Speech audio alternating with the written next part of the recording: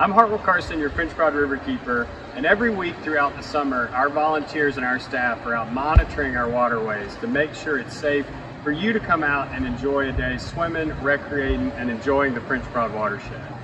Too often, though, our results come back showing that it isn't safe for swimming, which is unacceptable.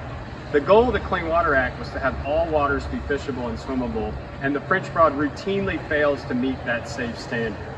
We're out here every week making sure the river is safe for you, tracking down sources of pollution like leaky septic systems, failing sewer pipes, and agricultural runoff.